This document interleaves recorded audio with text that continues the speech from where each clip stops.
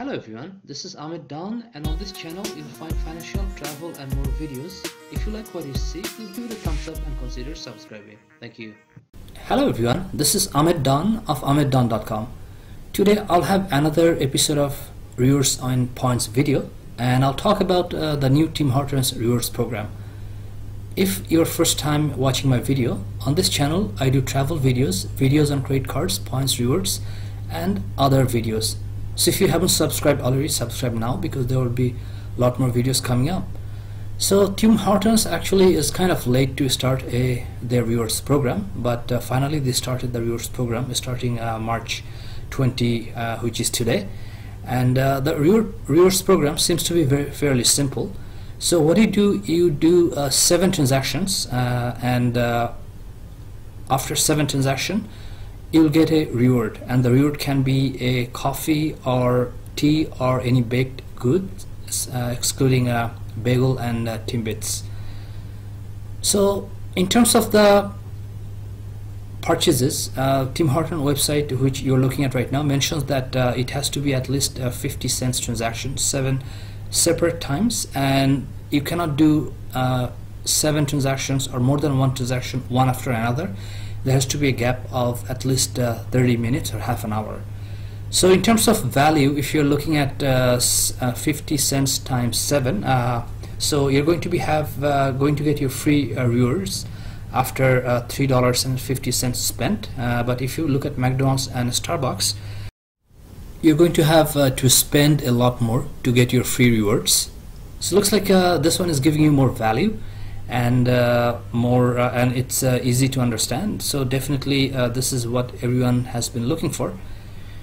Now you can collect rewards either by using a physical plastic rewards card uh, which is right here. Uh, you have to get that at Tim Hortons or you can just you know download the app and then you can collect rewards on your phone as well Another interesting thing about Tims reward program is that uh, when you are at your reward transaction, so let's say you're getting the free uh, transaction or free reward after seventh purchase, that transaction is actually considered another transaction. So basically your free transaction is considered a transaction and then it's going to accumulate with other transactions you'll get more value if you uh, redeem your rewards for baked goods uh, instead of coffee or tea because some uh, baked goods uh, could be more valuable than coffee or tea.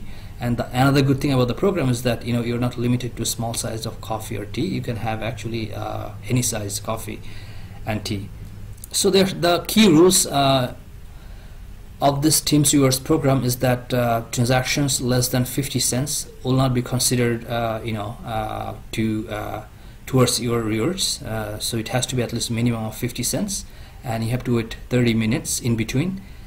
And uh, you can bank uh, or you can accumulate up to five rewards on your account at any time. But if you uh, you know go above that then the system will uh, just you know will not include uh, that rewards so or that purchase or transaction. So you better use you know your rewards as long as you know it's below five uh, rewards. And then uh, you cannot uh, bank more than 120 days. So if you look here it looks like to me that uh, Tim Hortons is considering transactions instead of an item in order to be eligible for the rewards. What I mean by that let's say you're buying a cup of coffee a bagel or anything else but you know you're combining them and paying them uh, together that's considered one transaction and that's going to consider or count towards one reward you're not going to get three rewards. So each transaction can be uh, can have more than uh, several items. So as long as they're you know above 50 cents then you're going to get uh, one reward from out of that uh, transaction. If we look at here eligible purchases what what qualifies as a transaction then it mentions right here that your rewards are based on the number of transactions. Regardless of what you purchase provided that the transactions are within the key rules restrictions of the Tim Hortons program. So it means to me that you know it doesn't matter what you're buying. Uh, you know you're just going to get uh, rewards based on transaction. So if uh, this is not the case then you can definitely leave a comment uh, in the comment section below uh, because I haven't tested this yet. And uh, in terms of what type of rewards you can get so you can get any size of coffee tea or a baked goods.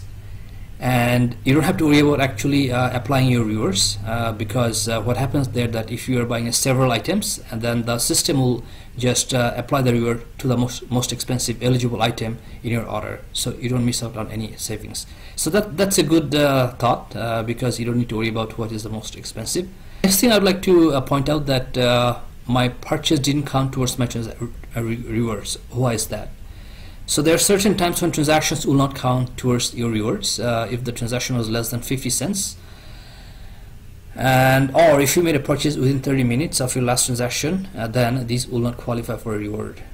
If you're interested then you can actually go through all these facts uh, but you know I uh, basically went through the uh, basics of this rewards program so everyone is happy to see uh, this rewards program because uh, this uh, we have been waiting for long uh, to you know get a rewards program or some sort of points program from uh, Tim Hortons. And finally they come up with uh, this program. And if you like what you see please give it a thumbs up. And if you find out something new or interesting please just leave a comment in the comment section below. And if you haven't subscribed already subscribe now. So I'll see you shortly. Thank you